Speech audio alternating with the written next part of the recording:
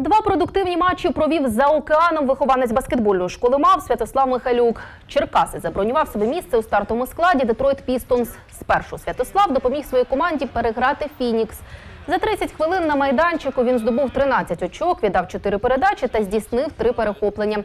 Потому підсилив Детройт у зустрічі з Сакраменто. Михайлюк провів на майданчику 39 хвилин і набрав 14 очок.